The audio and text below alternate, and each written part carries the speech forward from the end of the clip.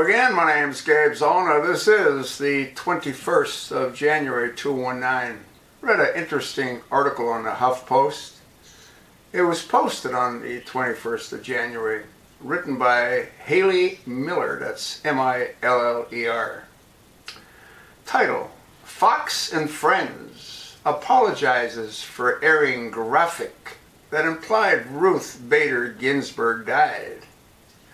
Fox News host Steve Doocy blamed a technical error for the image which incorrectly suggested that the Supreme Court justice had died.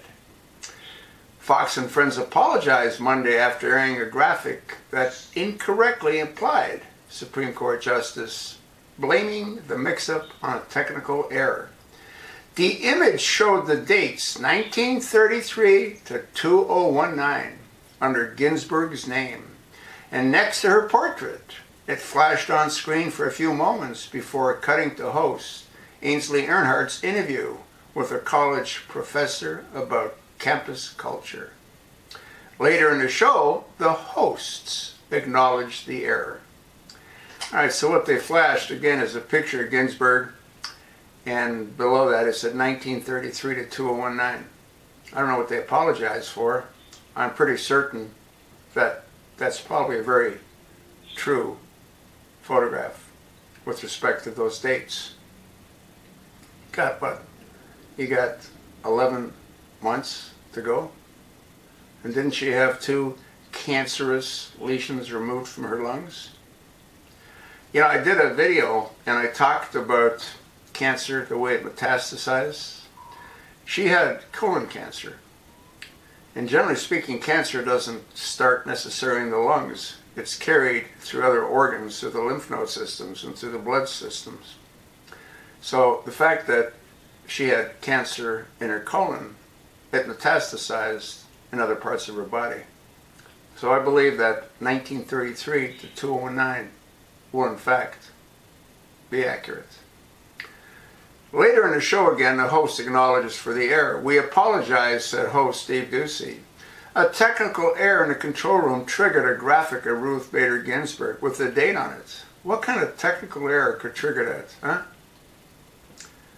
We don't want to make it seem anything other than that was a mistake. That was an accident. We believe she is still at home recovering from surgery.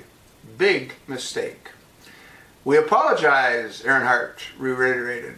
Big mistake. A Fox News spokesman told HuffPost that the technical error emanated from the graphic team. Hmm. Ginsburg, 85, underwent a pulmonary lobotomy for two malignant growths in her lung last month. Operative word, malignant, not benign, malignant. It takes one cell to continue regenerating cancer. She continued to recover from surgery, which was dubbed a success. You know, I sure like to hear from some cancer surgeons, some specialists, but I think it's total bullshit. She's probably full of cancer. She missed oral arguments this month for the Supreme Court's first case since her operation. It was the first time she missed arguments she was appointed to the High Court in 1993. The Supreme Court announced January 11 that Ginsburg's recovery is on track. Yeah, one foot on a banana peel and the other one in a coffin.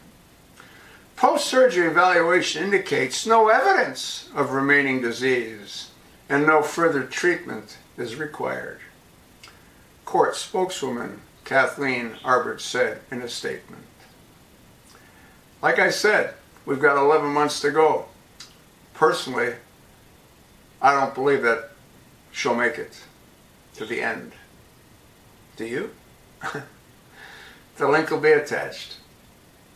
Thanks for listening. Fox need not apologize. And I told you why.